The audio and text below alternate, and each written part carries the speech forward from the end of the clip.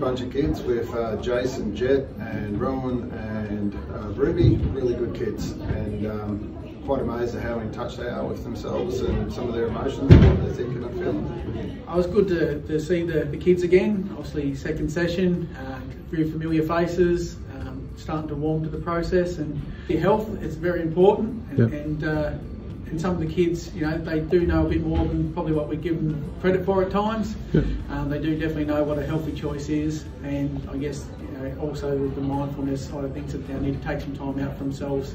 And I guess you know, in busy manufacturing environment, we need to do the same. We had a great session with uh, Edie, Izzy, and Shay today, and uh, really open and honest, and had a really good chat. Great bunch of kids, and uh, really enjoyed the day. Honestly, I actually probably took away a lot myself with uh, the nutrition and the mindfulness. It's uh, it's actually good for adults as well, but uh, I'm sure the kids took a lot away, uh, especially the same way that I did. I enjoyed the first sessions that we came onto, and then, then to be able to come again, Yep. just just to be able to know, have that little connection with the kids, recognise some faces today.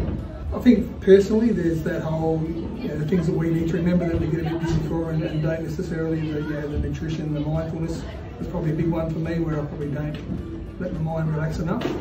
Um, but also uh, the kids whilst they sort of, they are very self-aware, it's interesting they don't necessarily get the opportunities. Know, they talked about the fact that, you know, what food do they eat? They eat what's put in front of them. And, uh, you know, maybe they can take some of this uh, home and, and maybe change some behaviours.